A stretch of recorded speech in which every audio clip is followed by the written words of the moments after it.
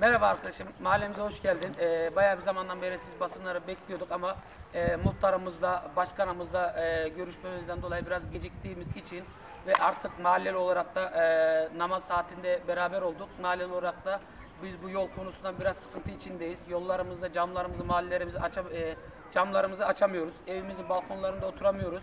Mahalle sakinleri olaraktan biz e, 3 seneden beri bu yolun yapılmasını bekliyoruz ve 3 senedir de diğer e, yarı başımızdaki büyük e, binalar yapıldı. 10 katlı, 20 katlı.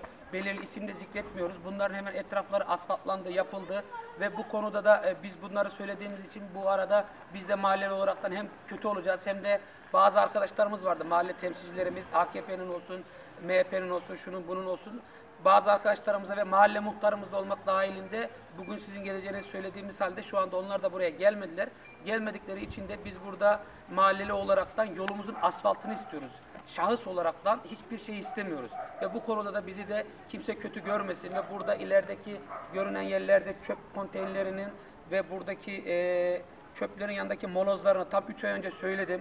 Gerekli müdürümüze varana kadar kepçemiz bozuk, şuyumuz bozuk, buyumuz bozuk.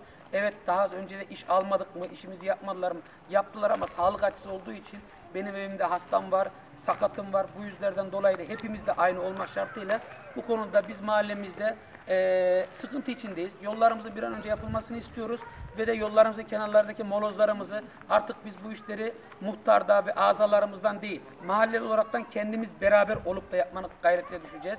Gerekirse yardım toplanması gerekiyorsa ma ev, ev mahallelerimizin yapılması için e, belirli ve ailelerimizden para da toplayalım. Yolumuz yapılsın yalnız ama para da toplayalım. Yolumuz yapılsın ve buradan yukarıya hastaneye çıkan yollarımız var. Oralar daha berbat. Tam köy yolu.